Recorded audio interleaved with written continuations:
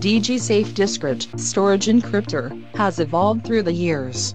What spurs the team to innovate this award-winning DiskCrypt M10? The team wants to break away from the traditional black, boxy, complex design. That is why we are motivated to innovate the world first, slimmest encryptor for the mobile workforce. What is the most popular feature that customers like about this hard disk encryptor? So the product is very lightweight, uh, the size of a credit card, and it fits perfectly on the palm. What is the key differentiator between a DiskCrypt and a thumb drive? DiskCrypt has two-factor authentication. The encryption key is stored inside the smart card, so if you lose the device, the data is still secure inside.